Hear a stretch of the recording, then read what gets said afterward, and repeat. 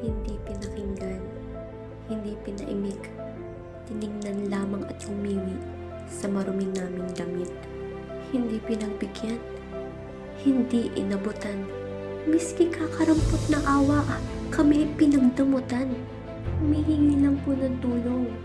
Sumasaklolo ng ayuda. Ito ay karapatan namin. Bakit po kayo namro-problema? Ano naman po kung kami manggagawa o magsasakang humihingi ng pondo?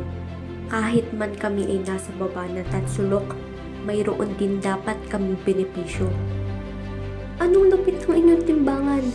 Ayaw niyong magpalamang? Kayo na nga tong nakalamang, kayo pa itong nanlalamang.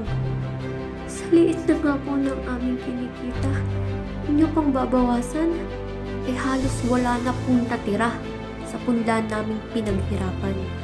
Sa komplikadong lipunang ito, madaming ignoranting nilalang. Sila yung tipong uunahin ang salapi, uunahin ang dayuhan. Mahaba ang pila para sa mga namuhay ng mangmang. Sa sarili mong bansa, hindi ikaw ang prioridad, kabayan.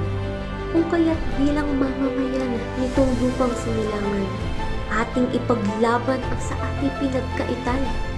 Nararapat lang na mata mo hindi lang dangal at kadakilaan, kundi ang karapatan ng pagkakakilanlan na may hustisya ang mga binhi ng bayan.